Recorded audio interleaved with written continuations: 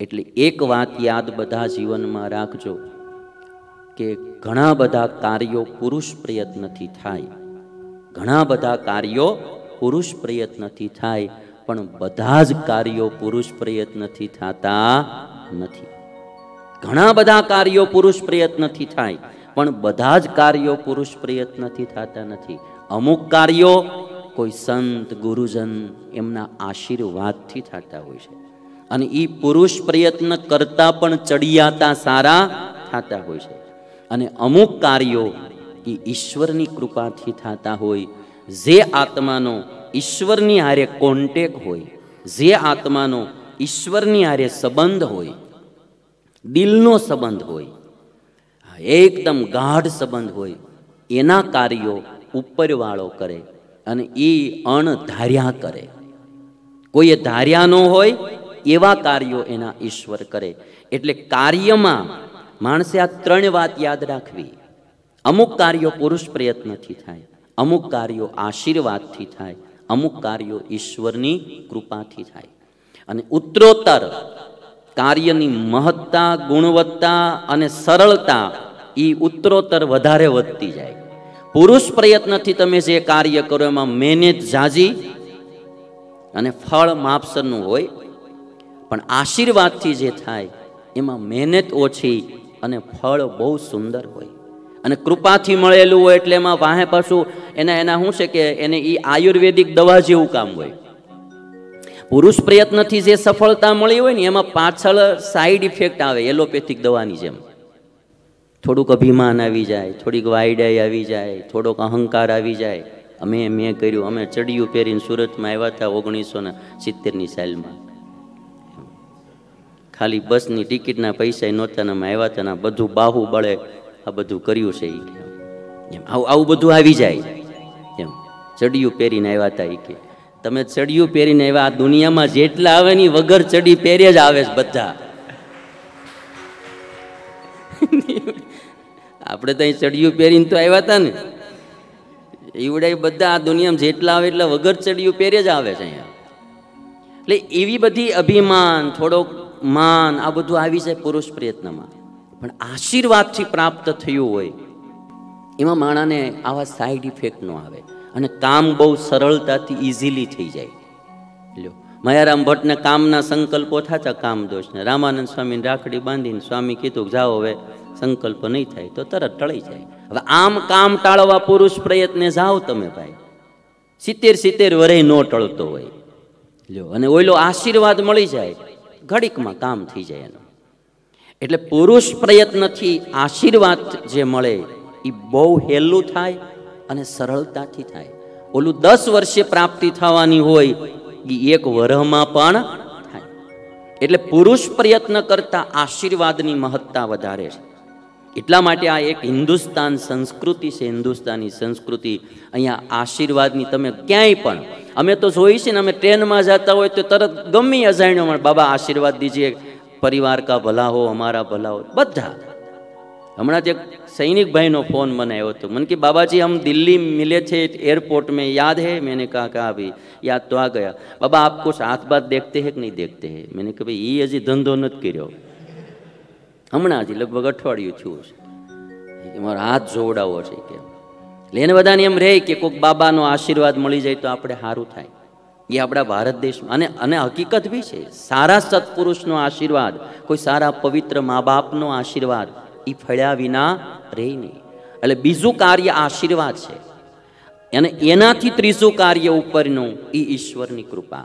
કોઈ આત્મા પરમાત્માની સાથે કોન્ટેક્ટ વાળો હોય, કઈ રીતે કોન્ટેક્ટ થાય, એ તો હવ હવનો માર્ગ હોય. પણ જે આત્માનો ઈશ્વરની હારે સંબંધ હોય, એના દ્વારા જે કાર્ય થાય, એ આખું અણધાર્યું કાર્ય થાય. એ એક્સ્ટ્રા ઓર્ડિનરી કાર્ય થાય.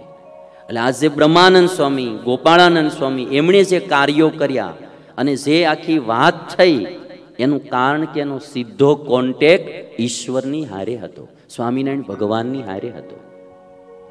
આજ આજ એક એક એક કાર્ય ગોપાળાનંદ સ્વામીના જો, બ્રહ્માનંદ સ્વામીના જો વર્ષો થયા. હજી તો જેમ વર્ષો જશે એમ એ એ ચીજોનું કાર્યની ગુણવત્તા વધતી જશે.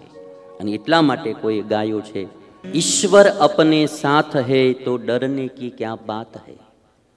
એક વાત આમાંથી મારે કેવી, જિસકે નામ સે કિતને કે હી બિગડે કામ બન જાતે આ દુનિયામાં ઘણી પ્રકારની ફિલોસોફી છે. એક નાસ્તિક લોકોની ફિલોસોફી છે કે જેનું માનવું એવું છે કે જે આ દુનિયા છે એ જ બધું છે, દુનિયા બારું કાંઈ નથી. કીતા એક જડ તત્વને જ માને છે એ ચેતન તત્વને પણ જુદું કોઈ માનતા નથી, આત્માને પણ કોઈ અલગ નહીં માનતા. મર્યા એટલે બધું પૂરું ટૂંકમાં એમ. પછી કોઈ આત્મા અજર અમર છે ને એને ફરીને જન્મ આવે છે ને ફરીને પાછો જન્મે છે ને ફરીને કરમ ફળ ભોગવે છે એવું એ માનતા નથી. એ નાસ્તિક લોકોનો એક મત છે. બીજી એક ફિલોસોફી એવી હાલે કે જે જડથી ચેતનને અલગ માને. કે ભાઈ ચેતન તત્વ કોઈ અલગ છે, આત્મ કોઈ અલગ છે એ અજર અમર છે. મર્યા પછી પાછો ફરીને જન્મ લે છે, એના કર્મના ફળ ભોગવે છે. ચેતન તત્વ અલગ માને છે. પણ ચેતન તત્વથી પછી ઈશ્વર તત્વને અલગ માનતા નથી. જે છે એ બસ આ છે, આત્મા સો પરમાત્મા. ટોટલ ફિલોસોફી જે કોઈ આખી દુનિયાની તમે જોવા જાઓ, આખા વિશ્વની ફિલોસોફી એનો સાર તમને આટલો જોવા મળશે. એમાં પ્રકારાંતરો હોય, ભેદો હોય, પ્રભેદો હોય બધા વિભાગો, એમાં ઊંડા ન ઉતરો, ત્રણ જોવા મળે. સૌથી પહેલી નાસ્તિકતા. મૂળ તત્વો ત્રણે જ આવે, જીવ, ઈશ્વર ને માયા. ખાલી માયાને માનનારો જે વર્ગ છે, એ નાસ્તિક વર્ગ છે. એ આત્માને માનતો નથી ને પરમાત્માને માનતો નથી. એ નાસ્તિક વર્ગ છે. બીજો વર્ગ છે, જે માયાને માને છે, જીવને માને છે. જડ અને ચેતન, ચેતના ચેતનને બેયને માને છે. પણ ઈશ્વરને આત્માથી અલગ કોઈ માનતા નથી. જે છે, એ ચેતન તત્વ એક છે. પરમાત્મા તત્વને આત્માથી અલગ નથી માનતા. આવો એક વર્ગ છે. આ બીજો વર્ગ થયો. અને એક ત્રીજો વર્ગ છે કે જે માયા, જીવ અને ઈશ્વર આ ત્રણેયને અલગ અલગ માનનારો વર્ગ છે. આ ત્રણ પ્રકારના વર્ગ. ફિલોસોફી મૂળ આ ત્રણ પ્રકારની. આમાં પછી ઘણા બધા ફાટાઓ પડીને અલગ અલગ મતો, સંપ્રદાયો આ તે બધું બને.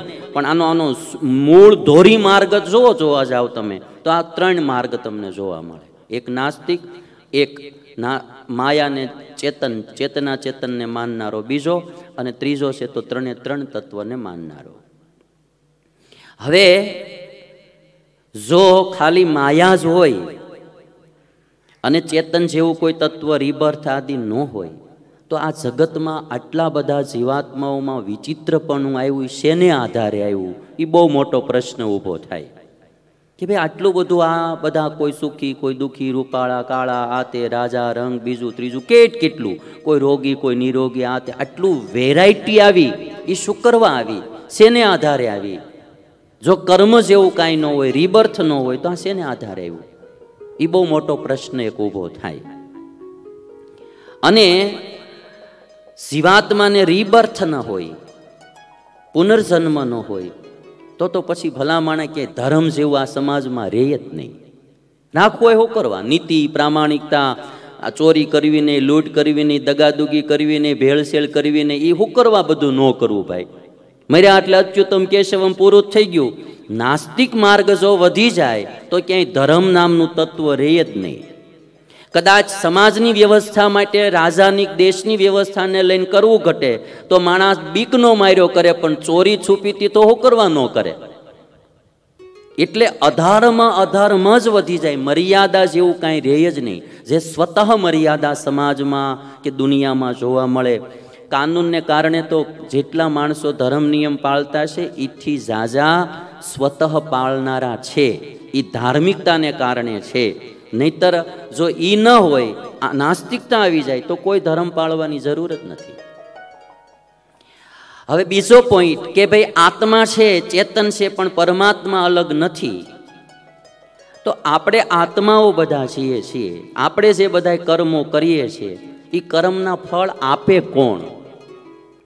આપણે આડાઓડા કર્યા, ચોરી છુપીથી કર્યા, હવ હવને, હવ હવના કર્મના ફળ મળે છે. જો કોઈક દેનારો જ ન હોય, કોઈ કર્મ ફલ પ્રદાતા અલગ આત્માથી ન હોય, તો આ બધાના કર્મનો કંટ્રોલ કરે કોણ?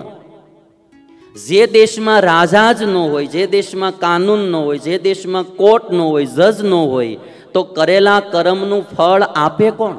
ચુકાદો કોણ આપે? લોકમાં બી આપણે જોઈએ છીએ કે જજ હોય, ત્યાં કેસ ચાલે ને એ એને ચુકાદો આપે એ રીતે એને ફળ મળે.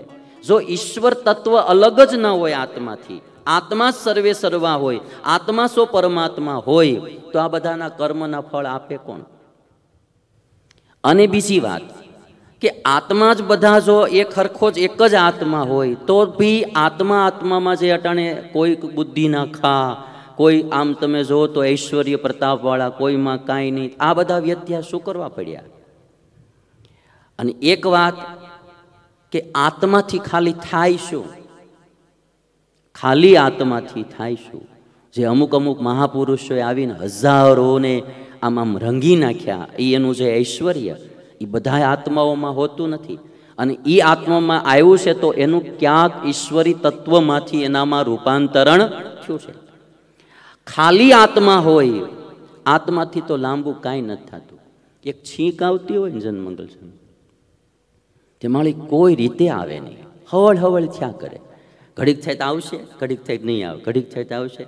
એમાં જો સૂર્ય ઉગ્યો હોય ને તો જરાક એની હામું જોઈ જલ્દી નિવાડો આવે.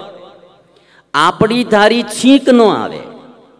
આપણી ધારી હાંજે ઊંઘ નો આવે. આપણી ધારી ઉડે નહીં હવારે. આપણી ધારી તમને કહું ને, ઘણી ઘણી ચીજ નો થાય લ્યો. નાના છોકરાઓ એને ધાર્યો પેશાબી ન થાય. એને અણધાર્યો થાય.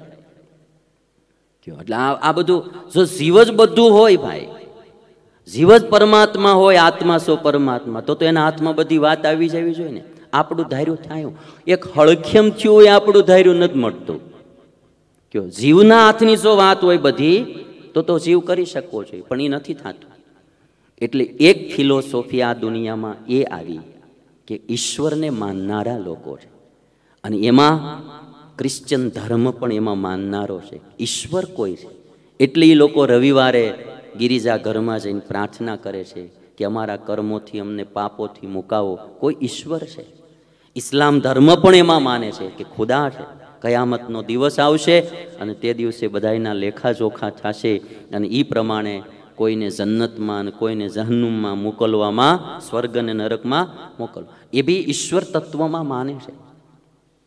હિન્દુઓમાં બી ઘણા બધા સંપ્રદાયો આત્માથી પરમાત્માને અલગ માનનારા છે. એટલે ઈશ્વર તત્વ જે છે, એ આખું એક્સ્ટ્રા ઓર્ડિનરી તત્વ છે. અને એ કોઈ સાકાર કે કોઈ નિરાકાર કે, પણ જેણે જેણે એની હારે કોઈ પણ રીતે તાર સાંધ્યો છે એના કાર્યો આખા અનોખા છે વાત પાકી છે.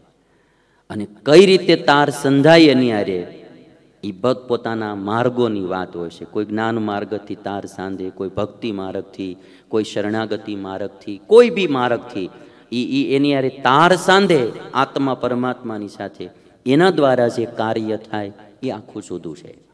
એટલે ઈશ્વર અપને સાથ હે, તો ડરને કી ક્યાં બાત હે सदा सफलता साथ हमारे हाथ में उसके हाथ है। अने जिसके नाम से कितने के ही, कितनों के ही बिगड़े काम बन जाते हैं, जिसकी याद से जन्म जन्म के कष्ट सभी मिट जाते हैं, सामने हो दिन रात है, प्यार की बरसात है। ब्रह्मानंद स्वामी ने तो कही है नहीं, है ना? सामने वो दिन रात है और प्यार की બરસાત હે. એણે જે પ્યાર વરસાયો એની વાત શું કરવી?